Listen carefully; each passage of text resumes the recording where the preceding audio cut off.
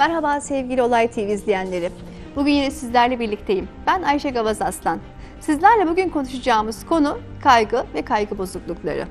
Bu bağlantıda geçen haftaki anlattığımız savunma mekanizmaları konusunda ruhsal yapıyı anlatırken eğer hatırlarsanız dışarıdaki değerler ve getirdiğimiz dürtüler bunlar sürekli olarak bilince çıkmaya çalışıyor. O noktada da egomuz, yetişkin kimliğimiz bunları dengelemeye çalışıyor demiştik.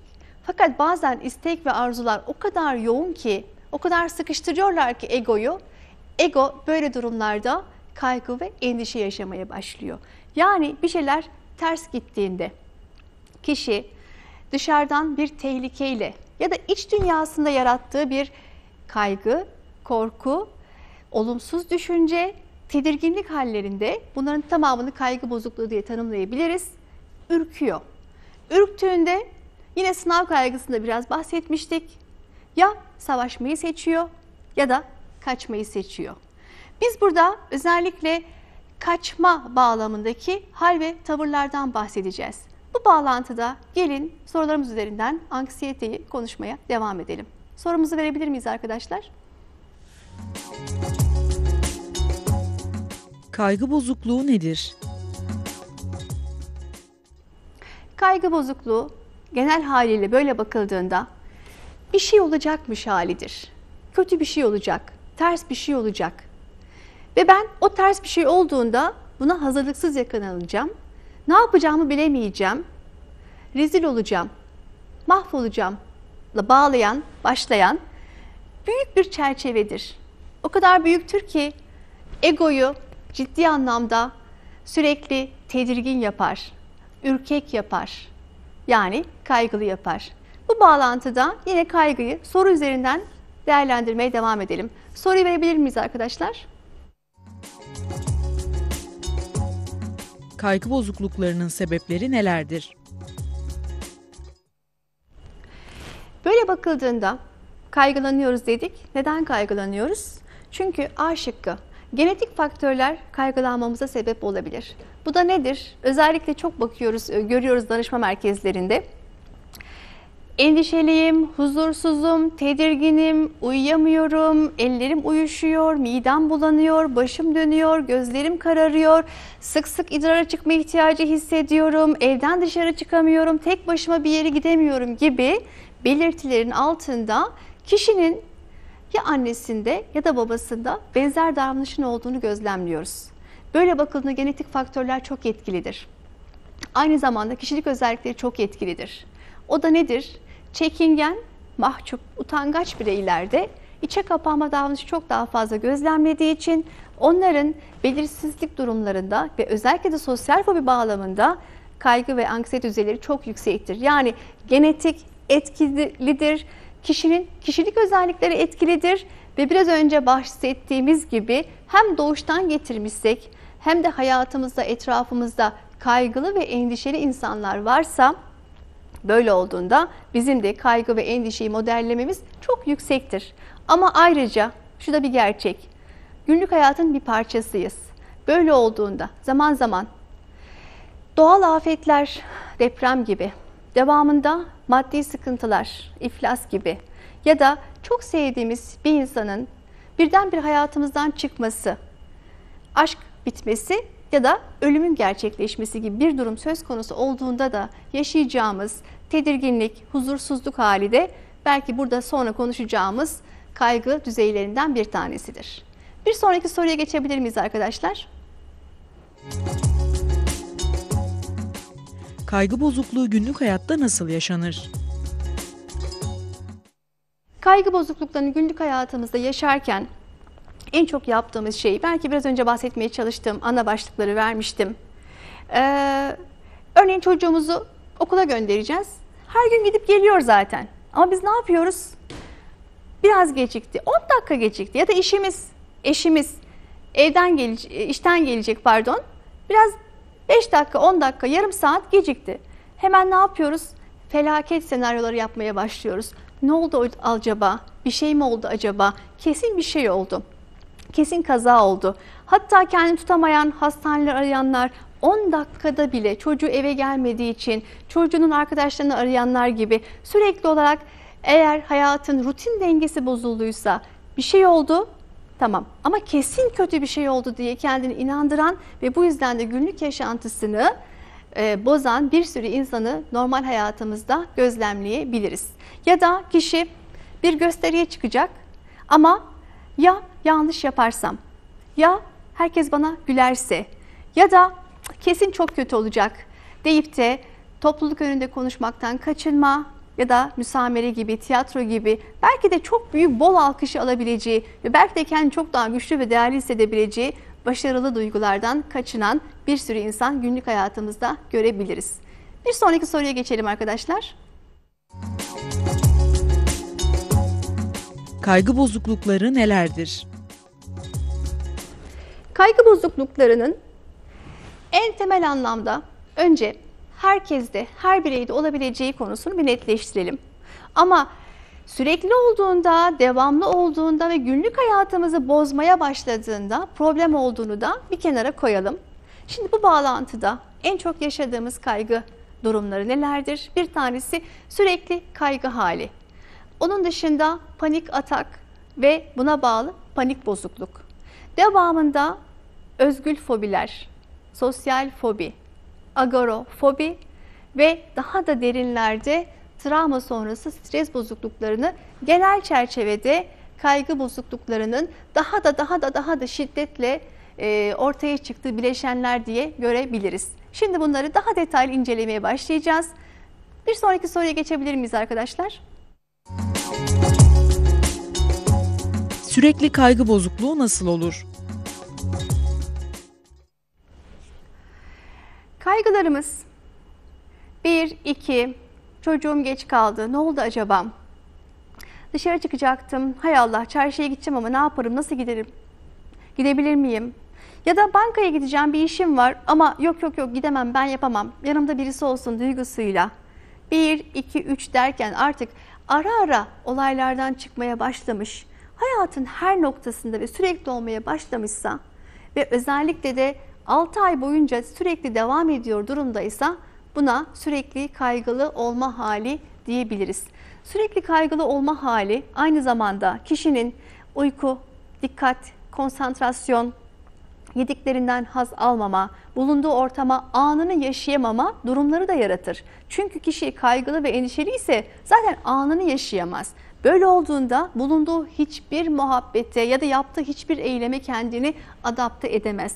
Ve ne oluyor? Ya geçmiş hayatında ben neyi nerede hatalı yaptım diye kendini suçlayarak ya da gelecek yaşantısıyla ilgili ne yapmalıyım, nasıl yapmalıyım, nasıl yaparsam daha iyi olacak gibi sürekli olarak endişeli, belirsizliklere karşı tedbir alma adı altında yaşantısını bu şekilde sürekli tedirgin, endişeli ve huzursuz geçirebilir. Buna bağlı olarak da vücudu malum beden bir yere kadar dayanıyor zaten ama sürekli düşünsenize gergin geziyorsunuz. Sürekli ayaklarınız uyuşuyor. Sürekli artık o kadar çok huzursuzlandınız ki hep karnınız ağrıyor ve nihayetinde hep başınız dönmeye, gözleriniz kararmaya başladı.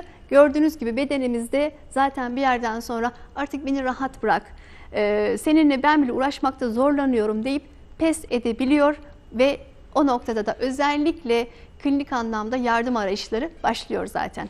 Bu bağlantıda bir sonraki soruya geçebilir miyiz arkadaşlar? Panik atak, panik bozukluk nasıl olur?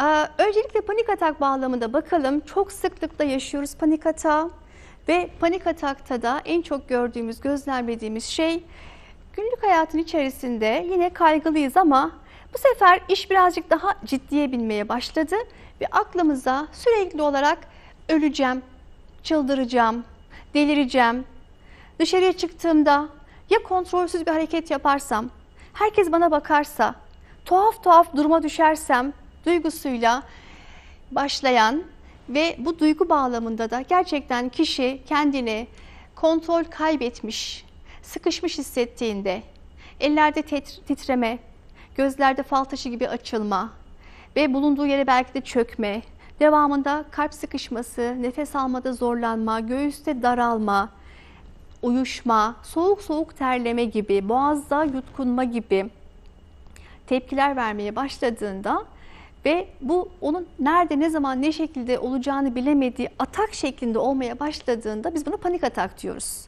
Burada negatif bir düşünce var ve bu negatif düşünceye eşlik eden negatif bir duygu ve davranış var. Her zamanki bütün temel problemlerimizin kaynağı olduğu gibi.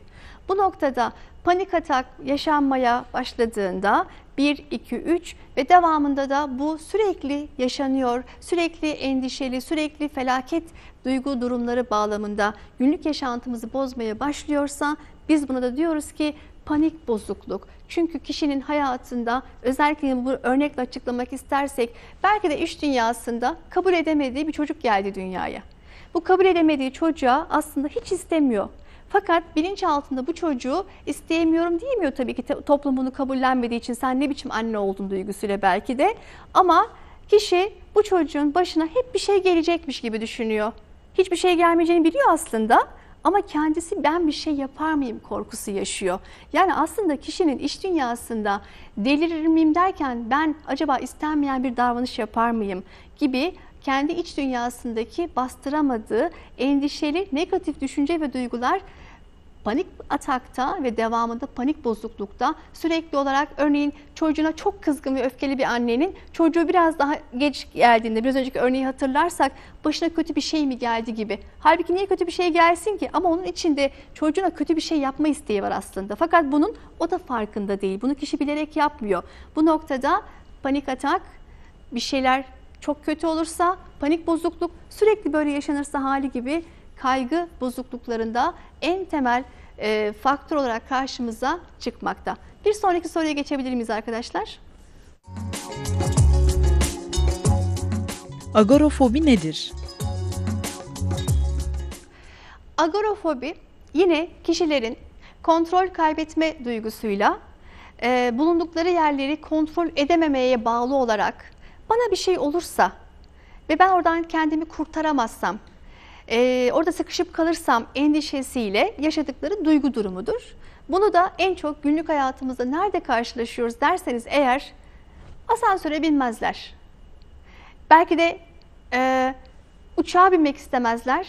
İstanbul'a feribotla gitmek varken 2 saatte belki otobüs yoluyla gitmeyi tercih ederler gibi kişiler belki de alışveriş merkezlerine girmekte sıkıntılanabilirler ya da otobüse binmekte bir yerden bir yere giderken şehirler arası otobüslerle yolculuk etmekte çok sıkıntılanırlar. Çünkü yine orada bir şey olursa bilincimi kaybedersem çok ciddi anlamda çıldırırsam ben ne yapacağım bana kim yardım edecek duygusuyla yaşadıkları bir temel kaygı vardır.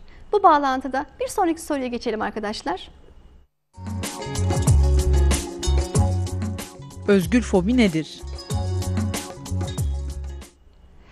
Özgül fobi yine kaygı bozukluklarında karşımıza çıkan bir durumdur. Özgül fobinin burada birazcık daha spesifik olma özelliği var. O da nedir ki kişi bunu bir yerlere yansıtıyor. Neyi yansıtıyor? Diyor ki yükseklik korkum var benim. Başka hiçbir şeyim yok. İyiyim. Her şey yolunda. Ama diyor ki örneğin ben kedilerden çok korkuyorum. Hayvanlara yansıtıyor. Bunun gibi e, ya da agorafobisi yok. Her yere çok rahatlıkla gidebiliyor. Ama diyor ki ben asansöre binemiyorum gibi. Yani tamamıyla bir duruma ait.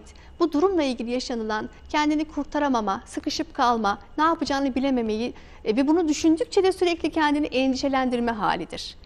Bu bağlantıda sosyal fobiyi değerlendirmek istersek eğer, sosyal fobide insanların topluluk önünde bulunması ile ilgili kendini anlatması ve buna bağlı olarak hakkında ne düşünüyorlar?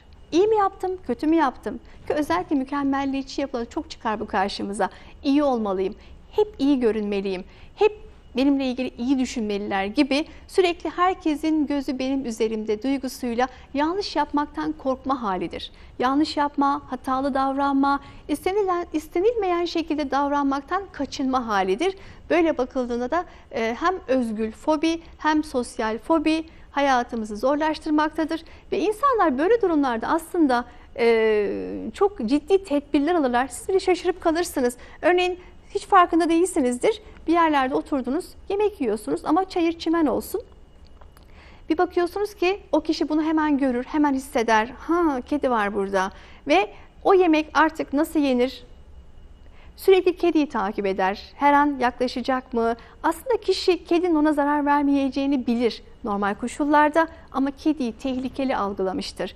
Ve e, psikoterapi bağlamında kediyi neden tehlikeli bağlamıştırın birazcık daha derinlemesine inmeye çalıştığımızda şunu gözlemliyoruz. Aslında yansıtma savunma mekanizması gibi geçen hafta konuştuğumuz konuya istinaden söyleyeceğim bunu.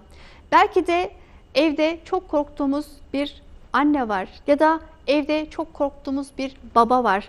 Biz haliyle ne yapıyoruz? Onlara karşı e, bir şey diyemiyoruz ve nihayetiyle de onlarla ilgili duygu ve düşüncelerimizi belki de ifade edemediğimiz için etrafta gördüğümüz o an acı bir tatsız olaydan hemen sonra bir kedi geçtiyse mesela kediyi farkında olmadan annemizin ya da babamızın bilinç altında yerine koyabiliyoruz. O yüzden de bana zarar verecekmiş, beni e, zor durumda bırakacakmış gibi daha dinamik anlamda bilinçaltı süreçlerinde de bu şekilde e, özgül fobiler geliştirebiliyoruz. Bir sonraki soruya geçebilir miyiz arkadaşlar? Obsesif kompulsif bozukluk nedir? Obsesif kompulsif yapılanmalar yani saplantılı e, davranışlar ve buna bağlı olarak da işe yaranmadığı halde kişinin tekrardan bu saplantılı düşünceden uzaklaşmak için yaptığı eylemlerdir aslında. Ama anksiyete bozuklukları dedik. Anksiyete bozukluğunu temel aldığımızda e, panik atak ve panik bozukluk derin bir süreçtir ama obsesif ve kompulsif yapılanma daha derin, daha derinden gelen dürtülerin, özellikle de cinsel ve dinsel anlamdaki it dediğimiz alttaki temel doğuştan getirdiğimiz mekanizmanın, dürtülerin istek ve arzularıyla dışarıdan toplumsal anlamda yargılanma, reddedilme, hoş karşılanmama duygusuyla gelen yoğun bastırmanın daha çok yaşandığı bir mekanizmadır. Böyle bakıldığında obsesif düşünce negatif bir düşüncedir. İstenmeyen toplumun onaylanmayacağı bir kişinin dahi aslında bunu bilinçli olarak ortaya koyduğunda hayır asla ben böyle bir şey düşünmüyorum deyip de belki içinden Tanrı'ya küfrediyordur. Belki de farkında olmadan bilinçaltı süreçleriyle evdeki abisine ya da ablasına karşı cinsel eğilimleri vardır. Ama kişi hayır hayır bunu e, bilince bu şekilde ifade edemeyeceği için ne yapıyor? Ben öyle bir şey düşünmedim, ben öyle bir şey düşünmüyorum deyip kafasındaki negatif düşünceyi hayatında daha rahatlıkla kontrol edebileceği başka bir işe yaramayan, çözümsüz ama olsun kullanmaktan sakınmadığı örneğin el yıkama gibi bir davranışla bastırmaya çalışıyor.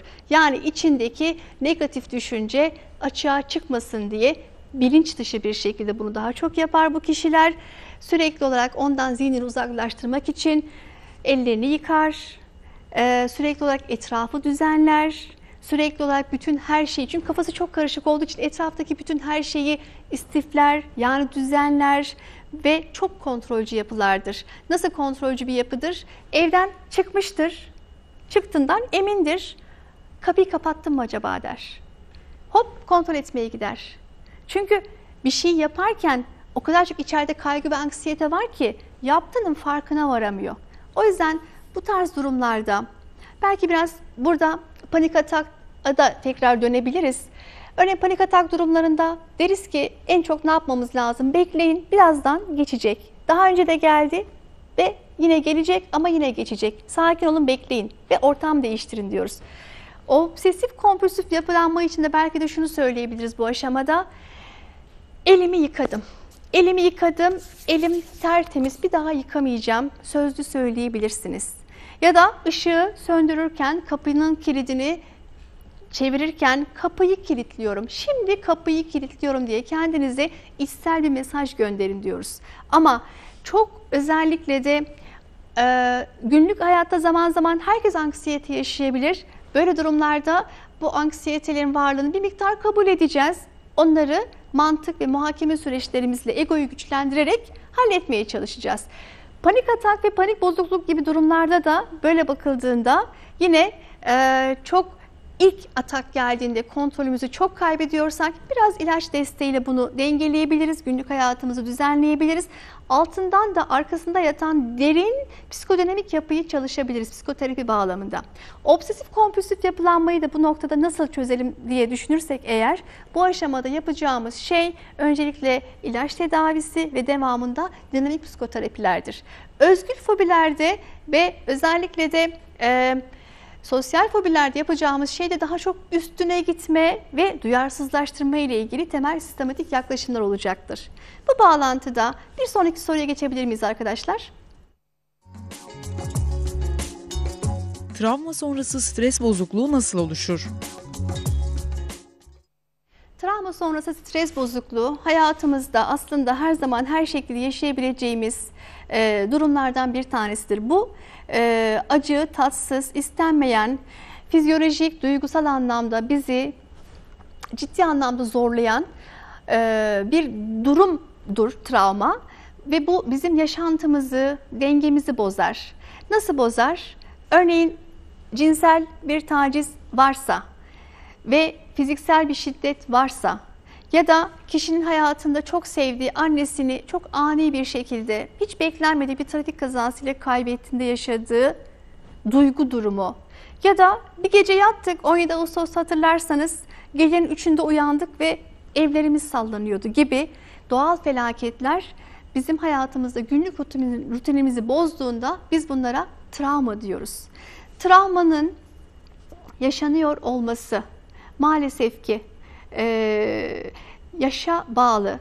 Kişinin travmada yaşadığı, maruz kaldığı durumun süresi ve travmanın tekrar tekrar tekrarlanabiliyor olma potansiyelleri travma sonrası stres bozukluklarını ciddi anlamda etkiler. Ve kişiler neler yaşar? Donuk bakar. Tepkileri anlamsızlaşır. Yalnız kalmak isterler ya da bazıları sürekli travmayı anlatmak isterler. Çünkü travmayı yaşayanla travmayı gören ve hatta bunlar olmadığı halde sadece travmanın anlatıldığı kişilerde bile etkilenmeler duruma göre farklılık göstermektedir. Yine savunma mekanizmalarında biraz önce gördüğümüz gibi e, travmatik bir yaşantıyı kaçınma davranışı gibi belki de konuşmama hatta uyuyarak hayatını devam ettirme bu noktada travma sonrası stres etkilerinde sıklıkla gördüğümüz durumlardan bir tanesidir. Kişinin düzeni bozulur, uyku düzeni bozulur, yaşantı düzeni bozulur, kaygılıdır, korkuludur, travmayı canlandıran bir eylem. Travmayı yapan eğer fiziksel bir kişi ise bununla karşılaşma, onda her zaman bu duyguyu tetikler. Böyle olduğunda da kişinin bütün günlük rutin hayatı bozulur. Ama bir bütüne bakarsak eğer anksiyete ve kaygı bozukluklarının tekrar yukarıya çıkalım. Daha derinlerdeydik e, OKB ile beraber geçtiğimiz tablo. Bu aşamada hayatımızda lütfen e, ruh sağlığımızı korumak adına şunu yapalım. Hayatı önceliklerine göre bir belirleyelim. Önemli konular ve önemsiz konuları lütfen çok dert etmeyelim. Kendimizi özgürleştirelim. Kendimizle ilgili hedeflerimizi, beklentilerimizi sağlıklı bir şekilde yapmaya çalışalım. Ve lütfen sevdiğimiz insanla daha çok zaman geçirelim. Ölümün varlığını kabul edelim. Ve bu bağlantıda da mümkün olduğunca yapmak istediklerimizi yapmadan bu dünyadan göç etmeyelim. Böyle bakıldığında sevgili izleyenler ben Ayşe Gavaz Aslan. Bugün sizlerle anksiyeteyi ve buna bağlı anksiyete kaygı bozukluklarını konuşmaya çalıştım. Önümüzdeki hafta farklı bir konuda tekrar görüşmek üzere. Hoşçakalın. İyi bakın kendinize. Müzik